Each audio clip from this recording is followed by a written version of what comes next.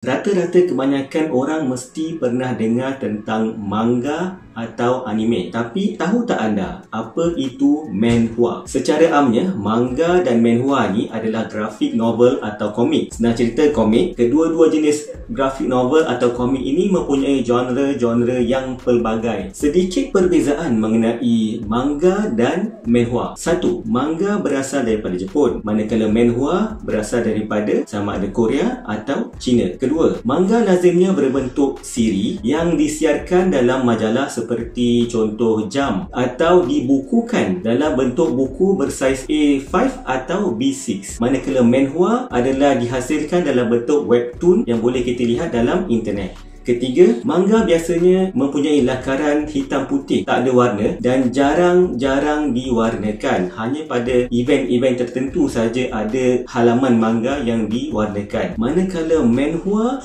adalah lakaran yang penuh dengan warna.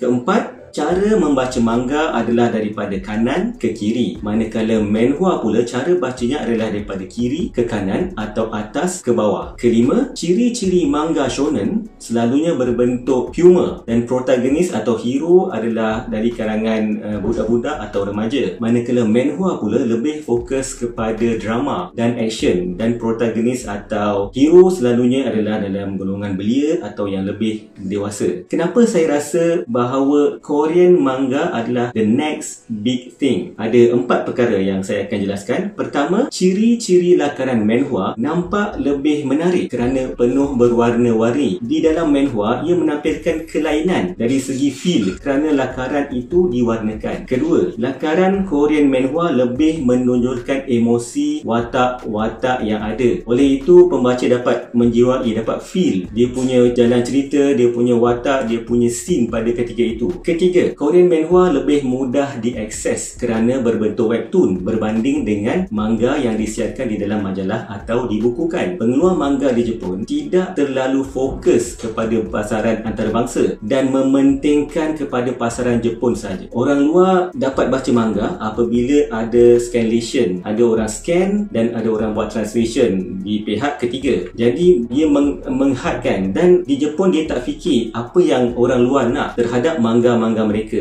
Dan yang keempat adalah telah ada karya-karya manhwa, Korean manhwa, webtoon yang akan dianimasikan seperti Tower of God dan God of High School. Bagi saya ini akan membuatkan lebih ramai orang akan mengenali Korean manhwa dan menjadi persaingan yang sihat kepada manga dan anime-anime dari Jepun. So untuk sesiapa yang baru nak mengenali Korean manhwa, ini adalah siri-siri yang saya rasa perlu anda baca. Salah satu contohnya adalah Solo solo leveling, God of High School, Nobliss dan Tower of God. Alright, itu saja. Terima kasih kerana menonton. Peace out guys.